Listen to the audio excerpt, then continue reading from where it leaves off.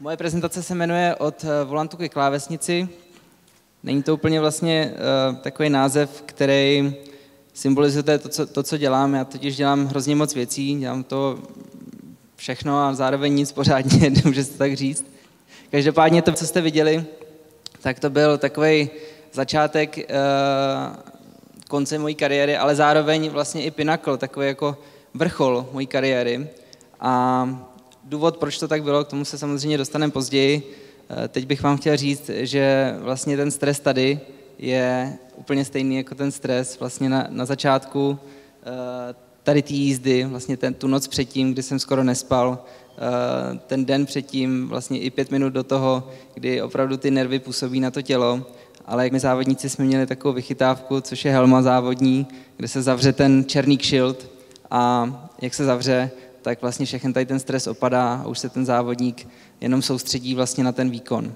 Každopádně tady úplně možnost jako vzít si tu helmu není, takže, takže bohužel to budu muset tady moderovat bez helmy. No. Každopádně pusme se do toho.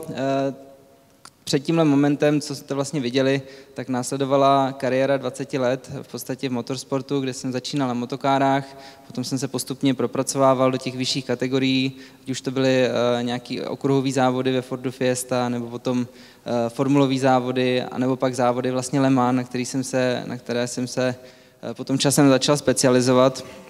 Každopádně tenhle ten moment, jak jsem říkal, vrchol mojí kariéry, tak eh, zkuste si to představit. Sedět eh, v monopostu za několik milionů dolarů, eh, mít vlastně hrozně velkou zodpovědnost za to, nejen zajet co nejrychlejší čas dokážete, ale zároveň to nerozbít. Do toho, do toho se na vás kouká v podstatě celý svět a opravdu ten stres a ten adrenalin je tam hodně znatelný. Jaké je to vlastně závodit nebo být sportovcem. Eh, je tady někdo, kdo, kdo eh, měl nějakou kariéru sportovní, profesionální, dělal nějaký sport profesionálně? Můžete klidně zvednout ruce, nemusíte se stydět. Super, takže tahle ta přednáška je úplně irrelevantní. Můžete jít domů, anebo si zajít na záchod na chvilku nebo na, na pivo a pak se vrátit, až já skončím. Každopádně můžu vám říct aspoň svoje pocity, nebo tak, jak to vnímám já závodění nebo dělat sport eh, profesionálně a vydělávat si tím peníze je v podstatě úplně úžasný. Eh, člověk eh, pozná svět, podívá se na úžasná místa, ochutná ty nejlepší jídla na světě, objede ty nejlepší hotely na světě, pozná spoustu krásných žen, objede si ty největší večírky na světě.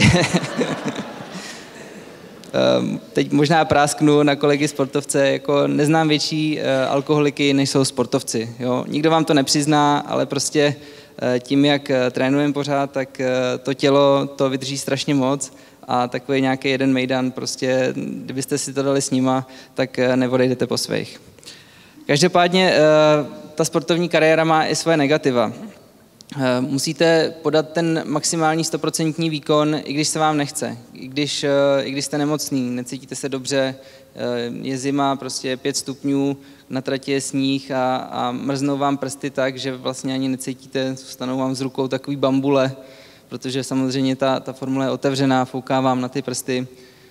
Nebo třeba v Le Mans, to je vlastně 24-hodinový závod, který jsem měl osmkrát. Funguje to tak, že jsme tři jezdci, a ty tři jezdci se střídají po dvou hodinách zhruba. To znamená, že jdete spát na dvě hodiny a pak musíte být zase ready, skočit do toho auta a dvě hodiny v kuse se soustředit, podávat ten maximální výkon. Určitě uh, můžu říct ze své vlastní zkušenosti, že když vás někdo po hodině spánku ve dvě ráno zbudí a ří, řekne vám, jdete závodit, tak se vám opravdu nechce. Každopádně, jak už jsem říkal, uh, tohleto video byl začátek konce mojí kariéry a já jsem si v tu chvíli uvědomil, že se svými podmínkami, se svým talentem, se svými možnostmi jsem se v podstatě dostal na takový jako pomyslný vrchol eh, svých možností a už nebylo moc jít jako kam dál. Eh, s tím vlastně přišla i trošku ztráta motivace a zároveň eh, k tomu přispělo to, že přišla finanční krize, firmy přestaly sponzorovat eh, závody motorsport vlastně tím, že to je neekologický a zároveň peníze do sponsoringu přestaly tak jednoduše proudit. No a teďka vlastně na mě zbyla otázka, co dál. co teď budu dělat, když jsem 20 let závodil a nic jiného v podstatě neumím. Tak jsem si sednul doma a přemýšlel jsem, trošku na mě padla jako depka lehká, jsem si říkal, že vlastně co teď.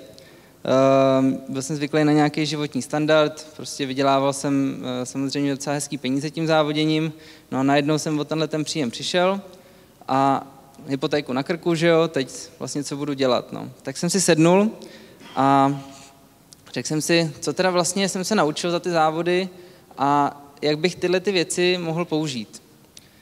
Nebylo to teda úplně tak, že bych jako nic neuměl, protože jsem vždycky už od malička přemýšlel o tom, že závodníkem asi nebudu do konce života, tak jsem si hledal různě jako takové brigádky a různě, uh, různý takový mm, stáže, takže třeba chvilku jsem si hrál na bankéře v Ženevě, uh, na tři měsíce, tam jsem zjistil, že mě to fakt jako moc nebaví, pak, pak jsem šel pracovat do jedné firmy, která dělá development v Praze, tam jsem zjistil, že než vlastně od počátku té ideje něco postavíme do realizace a prodeje té ideje, tak vlastně uběhne většinou tak 15 let, tak to jsem si říkal, že zase na to nemám jako úplně trpělivost.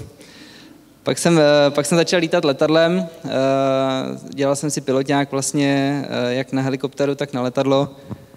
Bavilo mě to hrozně, protože zase je to další stroj, který jsem mohl řídit, ale, ale říkal jsem si, jsou tady nějaký piloti v místnosti? Super. Uh, tak uh, říkal jsem si prostě pilot nechci být, protože pilot je vlastně takový jako glorifikovaný autobusák, když to řeknu blbě. Je to vlastně jako řidič toho, toho letadla, no. A to jsem si říkal, že prostě jako nechci dělat. Uh, věděl jsem, že v životě chci něco tvořit a že chci vlastně za sebou něco zanechat. No a k tomu přišlo uh, taková nabídka, nebo spíš možnost uh, vaření. Vždycky mě bavilo vaření, vždycky mě bavilo jídlo, naučil jsem se vařit, protože jsem měl rád jídlo a neměl jsem vždycky tolik peněz, abych šel do těch nej, nejlepších, nejdražších restaurací. Tak jsem se začal vařit. Vařil jsem pro kamarády, pro známí, pro party lidí. A teď najednou přišla taková nabídka od kamarádky, která měla na starosti restauraci a říká, nechceš mi vymyslet menu? A já říkám, no tak jako klidně, no. Samozřejmě jsem měl asi flašku vína v sobě, tak jsem byl takový jako um, namistrovaný, že jasně není problém, že jo, vymyslíme. No a další den ona, ona říká, no tak pojď to teda jako udělat.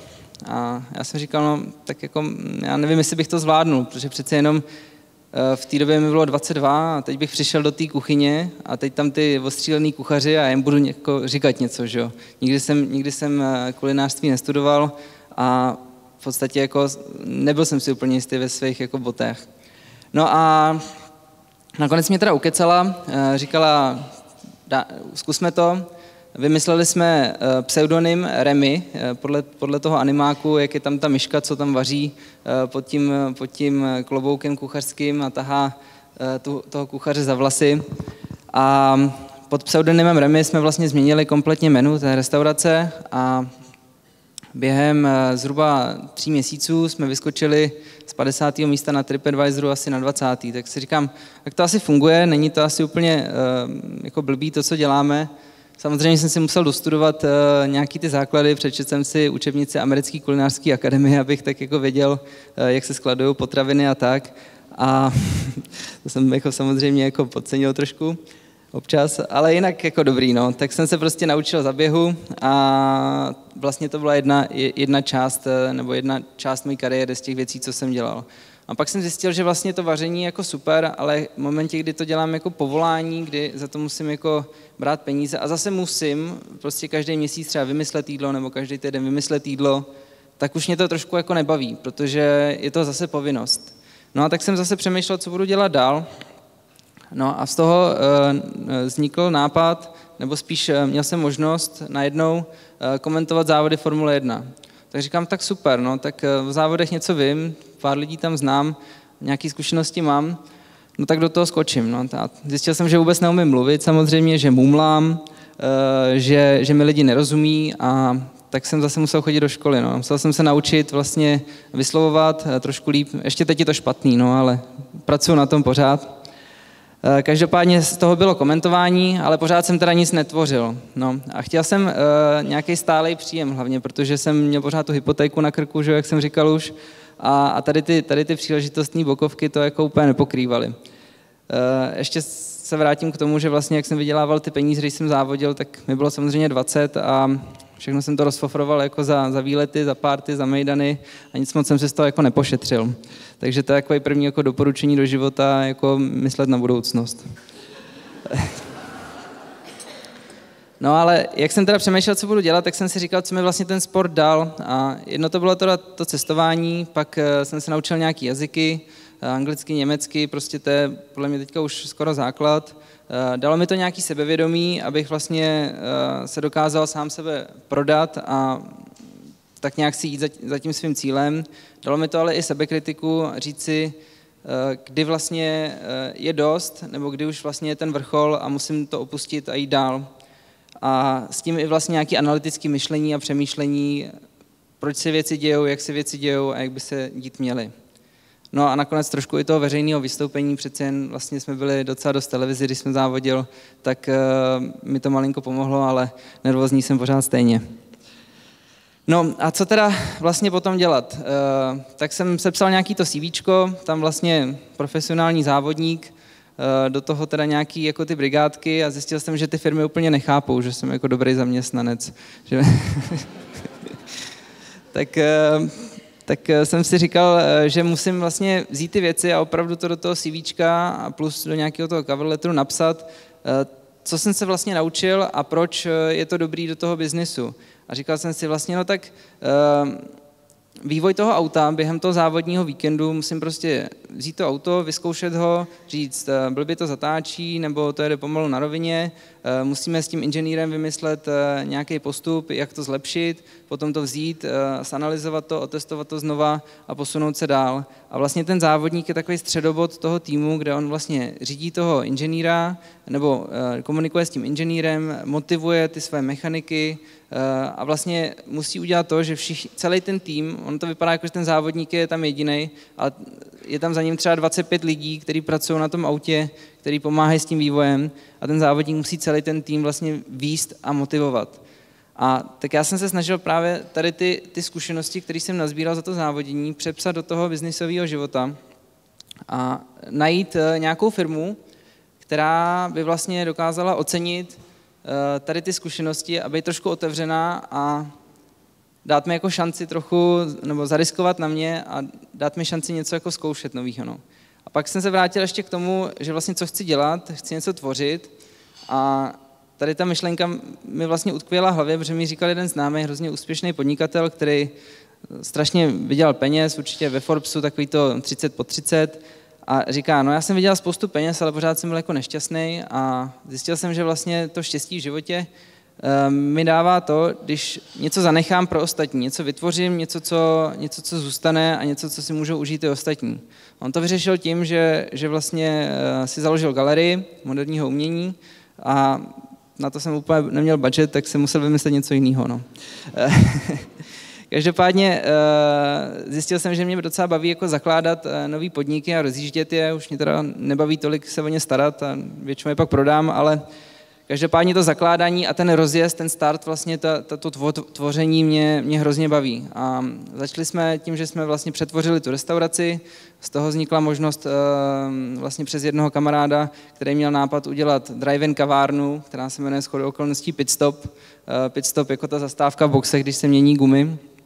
Uh, funguje to tak, že prostě se zastaví, uh, někdo vyběhne k tomu autu a do tří minut máte teplý kafe a teplý sandwich. Tak, eh, takže to je pitstop a potom eh, vlastně z tohohle nápadu uh, přišli kluci, kteří um, pracují v investičním fondu, který vlastní Leo Express, nebo dopravce, nebudem to říkat jména. A to jsem, to jsem asi neměl. Dobře, každopádně říkali, my to chceme koupit po týdnu, co jsme otevřeli. Já říkám, to určitě ne, my prostě to chceme první rozjet a pak to určitě jako za, za rok můžeme se o tom bavit. Ale jak jsem hledal tu práci, tak mě napadlo, že oni, jak vlastně mají ten investiční fond, tak mají spoustu volných peněz a rádi tvoří takhle ty nové projekty. Tak eh, jsem si říkal, jestli bych se s nimi spíš nemohl eh, spojit a zase pracovat na, ně, na něčem dalším. No. A společně jsme vymysleli, že, že uděláme něco úplně nového v Česku, eh, něco, co už je teda ve světě, ale v Česku to zatím není a je to přesně něco, co pomůže lidem, zanechá to nějaký odkaz a vlastně je to, je to něco, co nás baví. A je to sdílení aut eh, mezi lidma. peer-to-peer car sharing, se tomu říká jako profesionálně. A je to vlastně možnost využít těch, ty hrozný spousty aut, co my tady máme, co nám stojí a nejsou využitý, tak si je prostě nazdílíme. Je to stejně jako třeba Airbnb se půjčou byty, které nejsou využitý, tak tohle je pro auta. No a tak to je vlastně ten projekt, na kterém teďka pracujeme. No a co teda nakonec? Eh, to bylo pro mě úplně nejtěžší vlastně vymyslet se celý to poselství eh, toho mýho toku. Eh, moc vlastně jsem si říkal, tak tady odvyprávím svůj život a co z toho, no? Tak zvlášť, že tady nejsou žádní sportovci, který jako by si mohli zjistit to nějaké ponaučení. Tak jsem si říkal, no, tak eh, myslet na to, že, že vlastně jedna příležitost eh, vede k další a nebyt takový jako uzavřený. Nebát se nových věcí a když vám někdo řekne, pojďte něco zkusit, pojďte zkusit vařit nebo pojďte zkusit tady něco, co vás baví, tak se toho nebojte a jděte to prostě vyzkoušet. Další věc je myslet na budoucnost a to znamená vlastně, když se vám teda jako jednou daří, tak si nějaký ty peníze odkládat a, a ne, nerozfofrovat to všechno prostě za blbosti. to jsem jako úplně neukočíroval já zrovna. E, pak je tam další, jako nevzdávat to, když už se pro něco rozhodnete, tak, e, tak prostě jít do toho naplno a nenechat se odradit e, nějakýma překážkama. No a pak to samozřejmě na vás se neaplikuje, protože nejste sportovci, ale mám tady jít do biznisu se stejným nasazením jako do sportu. A to je vlastně konec mojí prezentace. Děkuji.